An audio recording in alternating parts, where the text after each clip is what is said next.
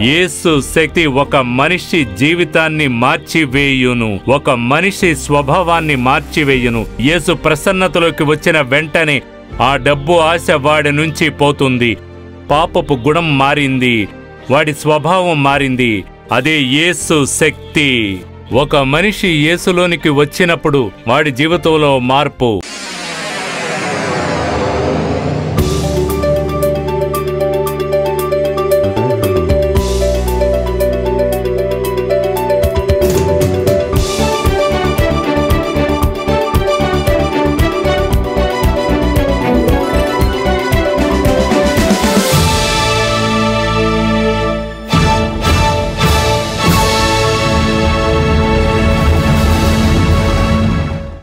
చెన్నై పెరంబూరులో విడుదలై మహోత్సవంలో ఎంతో మంది జనం కలుసుకొని దేవుని ఆశీర్వాదం పొందారు.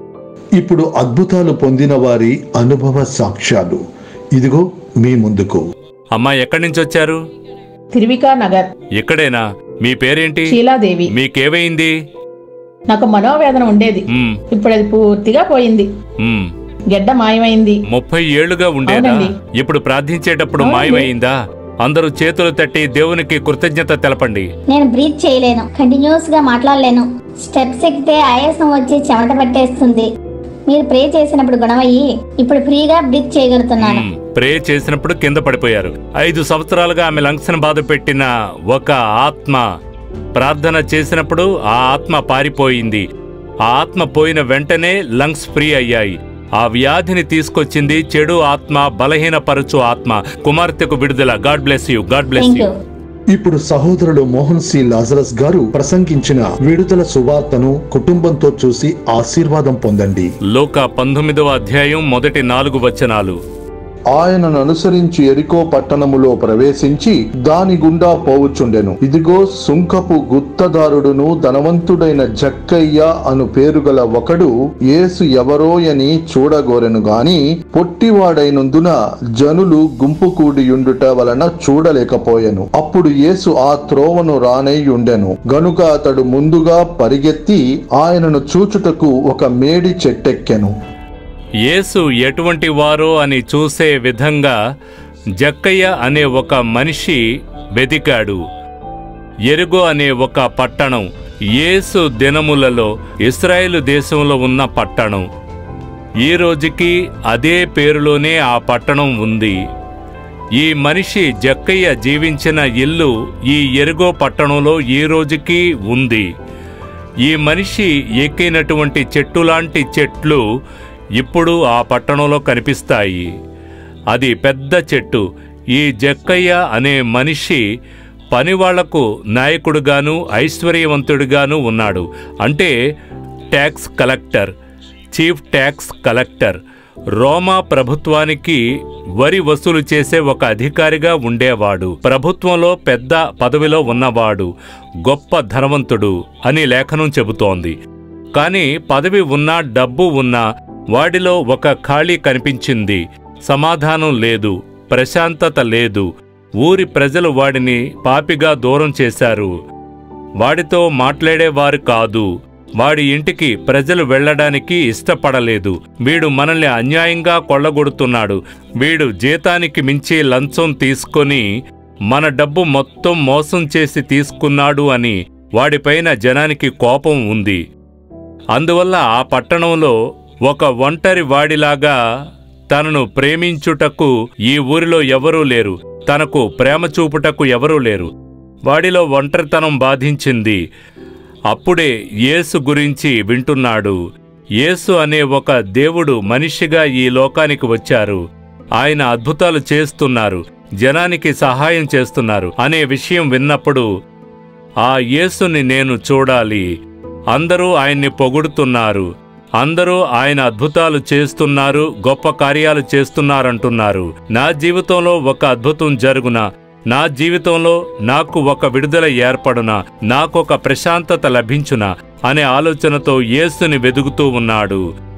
వాడు పొట్టిగా ఉండుట వలన జనకూటంలోకి వెళ్ళి యేసుని చూడలేకపోయాడు. ఎందుకంటే యేసు వెళ్ళే ప్రదేశంలో ఎందరో జనం గుమిగూడు ఉన్నారు. అందువల్ల జనం మధ్యలోకి వెళ్ళలేక యేసు ఈ మార్గంలోనేగా వస్తారని ముందుగా పరిగెత్తి అడవి మేడి చెట్టు అడవి మేడి చెట్టు దానిపైన వాడు ఎక్కి కూర్చున్నాడు. పైకి ఎక్కి కూర్చొని చూస్తూ ఉన్నాడు. యేసు ఇటుగా వస్తారు అని. యేసు అక్కడికి వచ్చినప్పుడు చెట్టు మీద ఉన్నవాణ్ణి వేరే ఎవరూ గమనించలేదు. యేసు అక్కడ నిలబడ్డారు. అటువైపు చూశారు. వాడిని పేరు చెప్పి పిలిచి జక్కయ్య నువ్వు దిగిరా. ఈరోజు నీ ఇంట్లో నేను బస చెయ్యాలని వాడికి ఆశ్చర్యం. యేసుని సంతోషంగా తీసుకుని వెళ్ళాడు. ఆ సంఘటన ఈ భాగంలో రాయబడి ఉంది. యేసు ఎటువంటి వారో అని చూచుటకు వెతికాడు. యేసు ఎటువంటి వారు? ఆయన మతానికి నాయకుడా? మత ప్రచారం చేసే గురువా? ఆయన ఎలాంటి వారు? దీనిని చాలామంది తెలుసుకునే విధంగా యేసు ఎలాంటి వారు అనేది తెలియనందువల్ల ఆయన ఇచ్చే ఆశీర్వాదాన్ని అనేకులు పొందకుండా ఉన్నాం. ఆయన ఎటువంటి వారు అని తెలుసుకొనున్నప్పుడు మన జీవితంలో అద్భుతాలు ఆశ్చర్యాలు చూడగలం. అందరూ చెబుతున్నారని వింటున్నాం. సగం సగం విని యేసు గురించి తప్పుడు ఆలోచనలతో ఉన్న ప్రజలు అనేకులు. యేసు ఎటువంటి వారా? ఆయన ఆ మత పెద్ద ఎటువంటి పలు కార్యాలు మాట్లాడు ప్రజలు ఉన్నారు.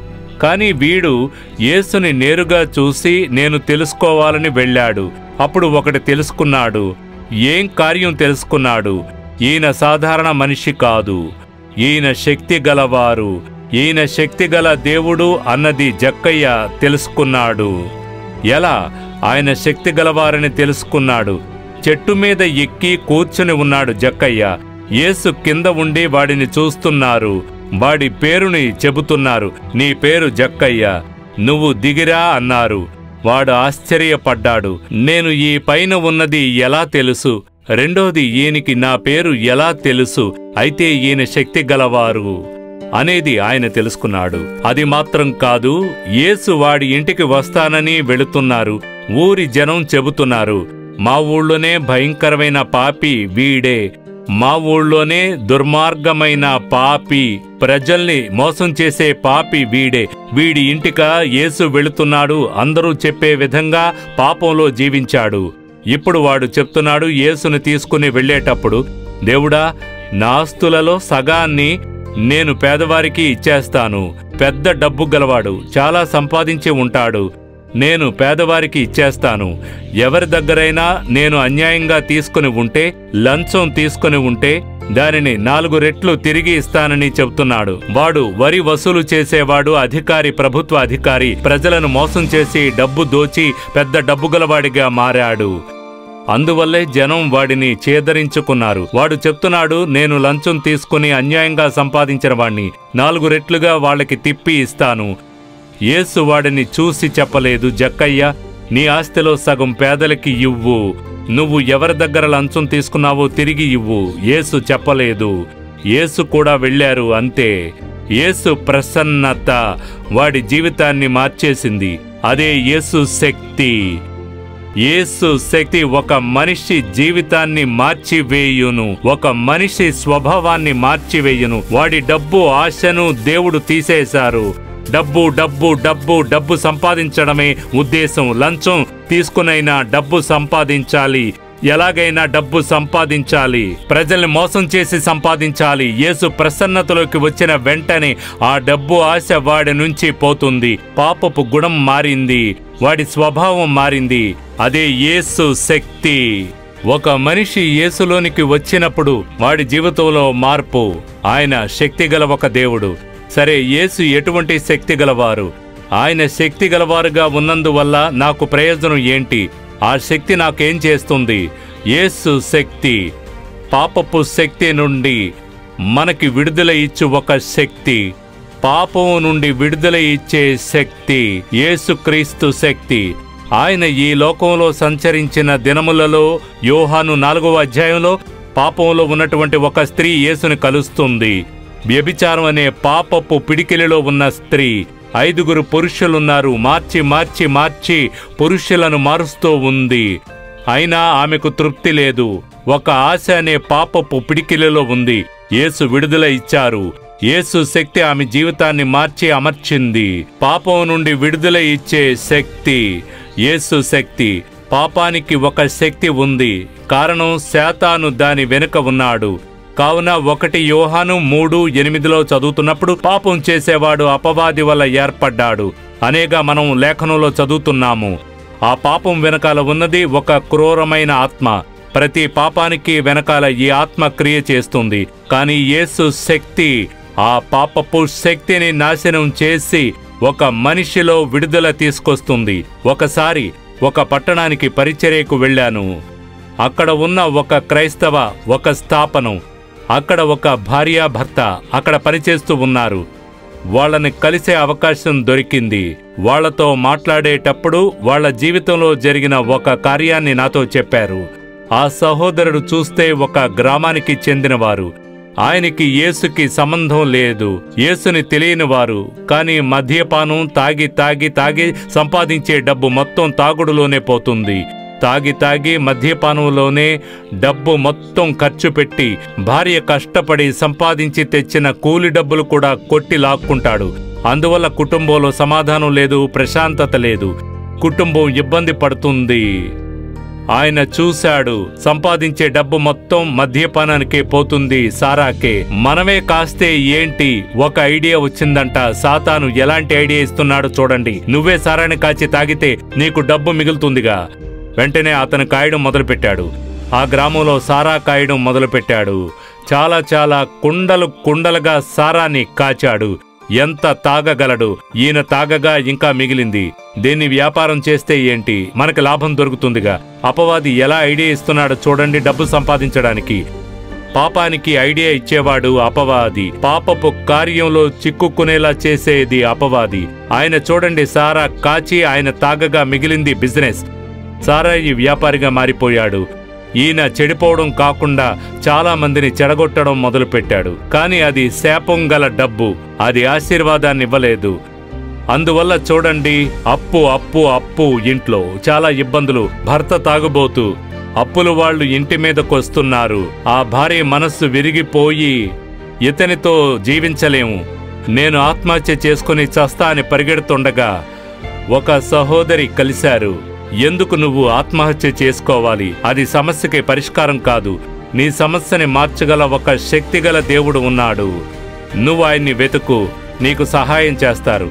ఎవరాయన? యేసు. ఆయన ఎక్కడో చూడొచ్చు మీ ఇంట్లోనే ప్రార్థించవచ్చు. నీ ఇంట్లో ప్రార్థిస్తే ఆయన వస్తారు. యేసు అని పిలిస్తే చాలు. ఆయన దగ్గర మనస్సు విప్పి మాట్లాడు సహాయం చేస్తారు. యేసుని తెలుసుకున్నారు. ఆయన భార్య ప్రార్థించడం ప్రారంభించారు. పక్కన ఉన్న చర్చికి వెళ్ళి యేసు గురించి చాలా తెలుసుకోవడం ప్రారంభించారు. మోకాలు వేసి ప్రార్థించడం ప్రారంభించారు. ఆయన తాగి వస్తారు. ఈమె మోకాలిలో ప్రార్థించడం చూసి కోపం వస్తుంది. కాలితో తంతారు. ఏంటి కొత్తగా ఒక దేవుణ్ణి ఇంట్లోకి తీసుకొచ్చావు? ఆ తాగిన మత్తులో భార్యను కొడతాడు. ఆమె ఓర్పుగా సహించుకుంటుంది. దేవుడు ఒకరోజు నా భర్తని మారుస్తారు. నా భర్తకి విడుదల ఇస్తారు. ఈ పాపపు శక్తి నుండి తన భర్తకి విడుదల ఇస్తారు. అని ఆమె ప్రార్థిస్తూ ఉండేది. ఒకరోజు ఆమె చేతులెత్తి దన్నం పెట్టారు. తాగుడు మైకులో భర్త వచ్చాడు. నువ్వు ఏసు ఏసు అని కొత్త దేవుణ్ణి ఇంట్లోకి తీసుకొస్తున్నావు. కత్తి తీసుకుని చేతిని నరికాడు. ప్రార్థన చేస్తున్న చేతిని నరికి చెయ్యి ముక్కలయ్యింది. పక్కింటి నుంచి పరుగున వచ్చి తీసుకుని ఆసుపత్రికి పరిగెత్తారు. అద్భుతంగా ఈ చెయ్యి కలపబడి నరకబడిన చేతితో ఆ సహోదరిని చూశాను. అటువంటి పరిస్థితిలో ఒకరోజు ఆమె చెప్పారు అయ్యా ఎన్ని రోజులు తాగుబోతులా సారా వ్యాపారిలా ఉంటారు. యేసు దగ్గరికి రండి మీ జీవితం మారును. ఒక్కరోజు ప్రార్థించడానికి రండి అన్నారు. ఆయన చెప్పారు భార్య దగ్గర అది కుదరదు నన్ను ఏ దేవుడు మార్చలేరు.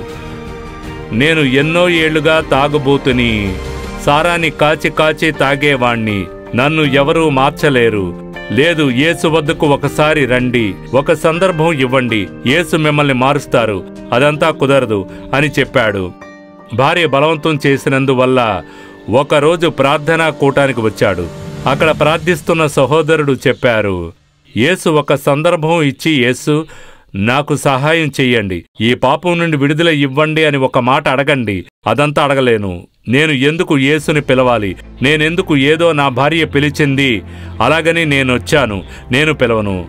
ఆమె చెప్పింది మీరు పిలిస్తేనే యేసు సహాయం చేస్తారు. మీకోసం మేము ప్రార్థించవచ్చు కానీ మీరు అడగాలి.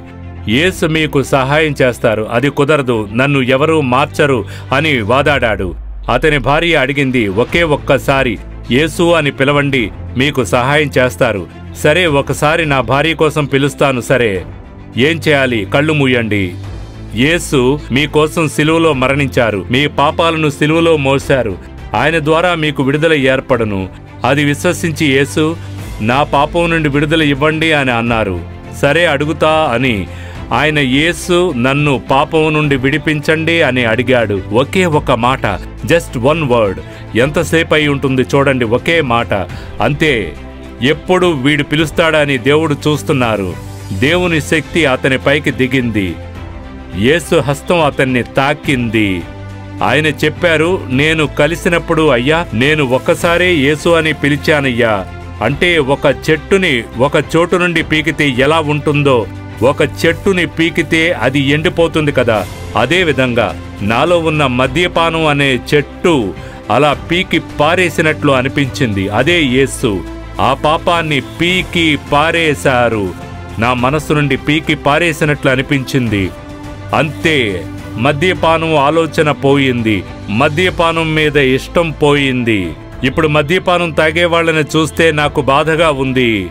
జాలి వేస్తుంది. అయ్యో ఎన్ని సంవత్సరాలు తాగుబోతులా ఉన్నానే. యేసు ఒక నిమిషంలో నన్ను మార్చేశారు. అదే యేసు శక్తి. మనిషిని పాపం నుండి విడిపించు ఒక శక్తి. ఆ శక్తి ఈరోజు మన ముందు ప్రసన్నం అయ్యి ఉంది. మీకు మద్యపానం నుండి విడుదల కావాలి. ఏదో ఒక మత్తు వస్తువులు ఏదో రహస్యంగా మీరు ఉపయోగించు మత్తు పదార్థాలు. మత్తు మాత్రలు మత్తు సూదులు మత్తు మాత్రలకు బానిసై మీ జీవితాలను నాశనం చేసుకుంటున్న యవ్వన తమ్ముడు యవ్వన చెల్లెమ్మ నేను వదలలేకపోతున్నానే ఇందులోంచి బయటపడలేకపోతున్నానని కలత చెందవచ్చు. నీకు ఒక విడుదల కావాలి. ఆ విడుదల ఇచ్చే శక్తి యేసుకు ఉంది. ఏ పాపపు అలవాటైనా మద్యపానం అయినా వ్యభిచారం అయినా ఏదో ఒక ఆశతో ఉన్న పాపం కావచ్చు. మీ సెల్ ఫోన్ నుండి వచ్చే దృశ్యాలు కొందరిని బానిసగా చేసి ఉంచాయి. మీ ల్యాప్టాప్ నుండి వచ్చే కొన్ని దృశ్యాలు ఆ అశుద్ధమైన వ్యభిచారపు ఆత్మ మిమ్మల్ని బానిసగా ఉంచింది. పాపం అని తెలుసుకుని వదలలేకపోతున్నారు. తప్పు అని తెలుసు వదలలేకపోతున్నారు. లంచం తీసుకోవడం పాపం అని తెలుస్తుంది కానీ వదలలేకపోతున్నారు. లంచం ఇచ్చేవాడు శపిస్తూ ఇస్తున్నాడే. ఒక ఆశీర్వాదం లేదు అని తెలుస్తుంది కానీ వదలలేకపోతున్నారు. డబ్బు ఆశ మిగతా వారిని చూసేటప్పుడు ఏర్పడే ఆశ కానీ యేసు మీకు విడుదల ఇవ్వగలరు. యేసు శక్తి మిమ్మల్ని మార్చగలదు. అదే యేసు శక్తి. మతం మార్చడం కాదు యేసు శక్తి. మనిషిని పాపం నుండి విడుదల చేసి పరిశుద్ధవంతుణ్ణి చేయుట. అదే యేసు శక్తి. ఈరోజు మీ జీవితంలో ఏదో ఒక పాపం మీకు విడుదల కావాలి. పాపపు స్వభావం పాపపు గుణం కోపం చిరాకు వైరాగ్యం పగ ఆ పాపం నుండి విడుదల కావాలి. యేసు విడుదల ఇస్తారు. ఆయన శక్తి మీకు విడుదల ఇచ్చను. ప్రియమైన వారలారా ఈరోజు దేవుడు తమ సువార్తతో మీతో మాట్లాడారు కదా? ఇది మీకోసం దేవుని సువార్త. దేవుడే నేరుగా మీతో మాట్లాడారు. ఆయన పాపం నుండి విడుదల ఇస్తారు. ఈరోజు పాపమే మీ సమస్య. ఇప్పుడు మనం ప్రార్థించబోతున్నాం. యేసు విడుదల ఇస్తారు. ఏం పాపం? మద్యపానమా? జోదమా? మత్తు పదార్థాల? కోపమా? చిరాక? వైరాగ్యమా? ఏదో ఒక పాపపు గుణం. తప్పు అని తెలుసు. మార్చుకోలేకపోతున్నాం. మీరు మిమ్మల్ని మార్చుకోలేరు. కాని యేసు మిమ్మల్ని మార్చగలరు. దానికే సిలువలో మరణించారు. విశ్వాసంతో ప్రార్థిస్తే చాలు. ఏ విషయంలో మీకు మార్పు కావాలి? విడుదల కావాలి. మీరు ముందుగా అది తీర్మానించాలి. నాకు ఈ పాపం ఈ రహస్య పాపం ఎవరితోనూ చెప్పలేను. నన్ను బాధ పెడుతోంది. నాకు విడుదల కావాలి. ఇప్పుడు ప్రార్థించండి. యేసు విడుదల ఇస్తారు.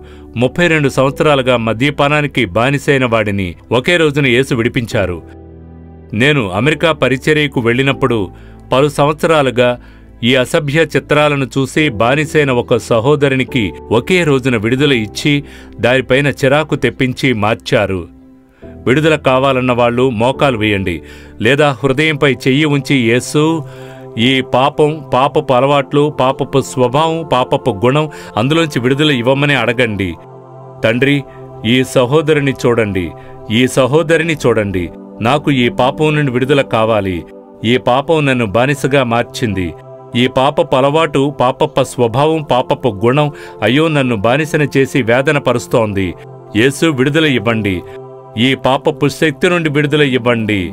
నా పాపపు గుణం మార్చండి. నాకొక విడుదల పరిశుద్ధం కావాలని ఎవరెవరు ప్రార్థిస్తున్నారో ప్రతి ఒక్క సహోదరి సహోదరుని కోసం ప్రార్థిస్తున్నాను. ఈ యవ్వన తమ్ముడు యవ్వన కుమార్తె కోసం ప్రార్థిస్తున్నాను. యేసుక్రీస్తు రక్తం సకల పాపాలను తీసి శుద్ధపరచును అన్న వాక్యం ప్రకారం మీ రక్తంలోని శక్తి మాలో దిగాలి. ఒక శుద్ధీకరణ ఏర్పడాలి. యేసుక్రీస్తు విడుదల చేశారు నిజంగా విడుదల అవుతున్నారు అన్న వాక్యం ప్రకారం ఈరోజు యేసుక్రీస్తు నామమున విడుదల ఏర్పడాలి. ఆ పాపపు బంధకాలు త్రెంచబడాలి యేసు నామమున. ఆ పాపపు స్వభావం యేసు నామమున మారాలి. ఒక పరిశుద్ధం దేవుని స్వభావం వారిలో రావాలి. ఆ పాపాన్ని తీసుకొచ్చే చెడు ఆత్మలను యేసు నామమున నేను గద్దిస్తున్నాను.